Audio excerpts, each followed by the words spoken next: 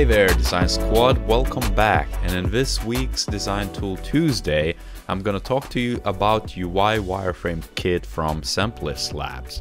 Semplice is a CMS for creatives and portfolios, which I might revisit at some point in the future in Design Tool Tuesdays or actual UX portfolio or UI portfolio. But for now, let's revisit one of their products, which is basically a wireframe kit for Figma and Sketch, which has a lot of different predefined components, a simple UI design system throughout it. And what they say is that it's, you know, the last kit you'll ever need for wireframes and all that jazz because it has so many different components. It's really easy to craft, let's say, websites or majority of web apps or products which would require a lot of, let's say, UI work, or you just need to kind of quickly ideate and put things together out of existing blocks and components. And so that's the best bet. Personally, I gave this kit a go. I purchased it instantaneously because I was in a need for it.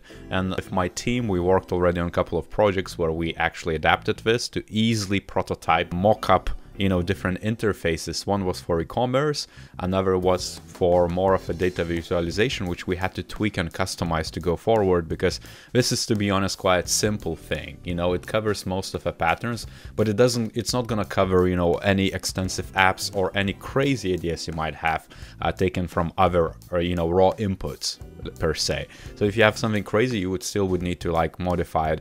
But it's always easier to start somewhere if it's already defined and then redesign it and remark it if you know what I mean. Once you download it, this kit you're gonna have two options. One is for Figma, another for Sketch. And to be entirely honest, what I loved about it was that it's structured pretty neatly. And to me, you know, well-structured things are what makes things just generally expected and pleasant. That's what makes experience for me as a designer pretty damn good when I'm actually welcomed in a thing. And as you can see, the designers here who created it provides with some sort of explanation of what it is. Cheat sheet where you can actually explore exactly which elements are covered. These are the elements, these are the components, these are the blocks. And so this is sort of like very primitive design system which you could kind of map out to atomic design in a way. But, you know, that's another discussion for another day. But as you can see, if I go through, it kind of scales. So we define colors, we define typography, we define basic UI elements, and there is a lot of it. So let's say it's buttons, input fields, a lot of different states like error, subscription, search, tags, pagination, checkboxes, radio buttons the basics which you would want and then a bit more advanced UI elements like toggles, tooltips, loading bars, error messages, progress indicators, ratings, dividers even, placeholders, native components, I guess for iOS, Android. I would call this atoms and molecules for, you know, typical design systems, but the idea is that you know, if you go forward and so like, you know, components, we're going to have they're structured by the type of a thing or, um, you know, the purpose. So we have navigation elements, a lot of different bits. We have footer elements, sliders, players, listicles, list components, accordions, tabulations. So there's a whole plethora of different bits here. As you can see, I could just go ahead, even chatbot examples, infographics, logo, wall. There's a lot of different bits here. And if we go to blocks, there is even more. As you can see, it's whole multitude of different elements and implementation patterns. So let's see if this is the type of bit you want. You could either copy it into a new document, uh, which I did, for example, because I was in such a hurry. I didn't want to respect the design system, which is in the sketch file.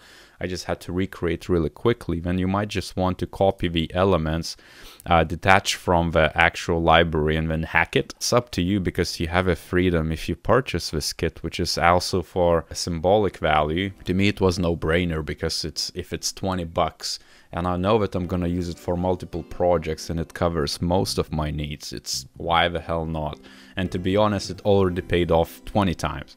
So if this actually matches your need, do invest, give them feedback as well, because as you can see, there is a lot.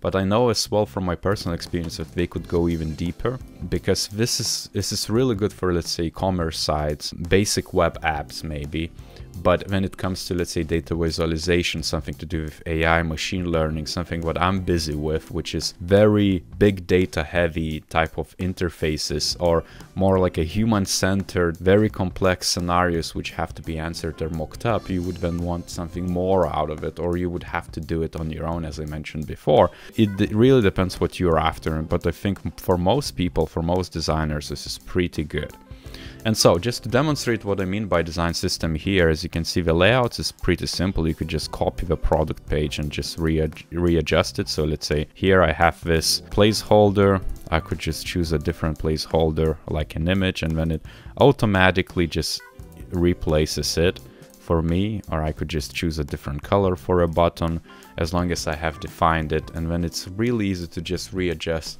and and switch different bits around because you have that flexibility. Let's say if I would define a new color, I'm just gonna go ahead and just say add a new shade. I like that by default with this UI wireframe kit is very flat. And let's say if I would take this type of baby blue, let's say, and I would add a new style uh, create new layer style let's say colors blue a bit crazy when you look at it but then if I would want to then define these bits across, I could just go ahead and just make this bottom blue. Then I can just go ahead, let's say, into one of the blocks or, or one of the components.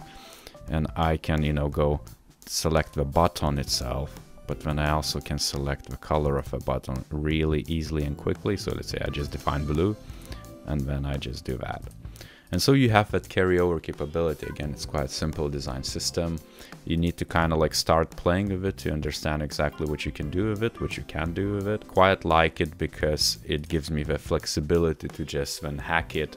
And again, if I have an issue and I need to mock up something within, let's say, hours or a couple of days, I know where to go to because uh, having a kit, and especially if it looks that good, that clean and that crisp, it's really easy to reuse and then convince, let's say, your stakeholders. Because sometimes we tend to almost disconnect ourselves as, as, as UX designers where we have that research, we have those workshops, but people get confused of how we get into that end product.